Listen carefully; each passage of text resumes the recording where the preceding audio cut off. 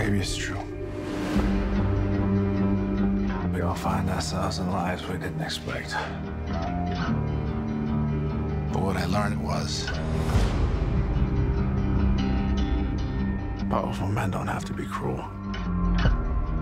I got one guaranteed life. I was gonna live it.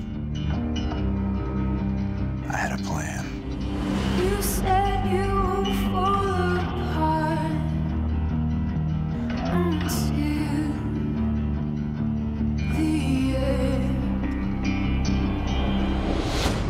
think that we got where we are by letting some inbreds muscle us?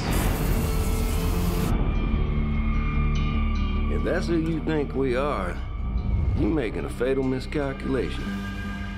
We're clerks and bankers and police officers, and we even got a judge. And if you're dumb enough to fight us, I'm gonna rain bloody hellfire down on you and all you love. So you're threatening me with people who are more powerful than you. Exactly. So what am I talking to you for?